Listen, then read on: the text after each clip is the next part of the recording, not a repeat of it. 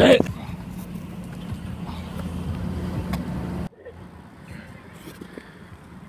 Jack Stoll separates himself from other high school football players by the way he prepares during the offseason. When football season is over, Jack Stoll continues to push himself to the limit both academically and physically. Uh, I need you to flip about two pages ahead. Uh, Recruiting just means uh, coaches put their faith in you enough to say, hey, we're going to give you uh, four years of free schooling uh, because we think you are that talented at football. And uh, we really think you're going to help this program. February 28, 28, 2015 was when Jack Stoll received his first offer from Colorado State University. That offer was followed by eight more, the last one coming in March 21st, 2015 from the University of Nevada, Las Vegas. University of Texas, University of Nebraska, and Colorado University are some of the other premier programs Jack has received offers from. A variety of coaches from all over the nations visit Jack during lunch and school as well.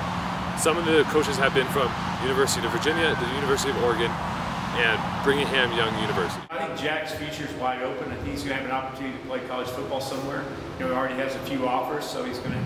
I think that's kind of you know where he's headed. I think that's his desire to, to, to play and get a great education. That gets it. You know, he's loyal. Uh, he's honest. He's trustworthy. He will tell you how he feels. You know, I think he, he has a lot of confidence, and that's demonstrated by his play, demonstrated by the fact that I think he is somebody that the other guys on the team look up to and respect.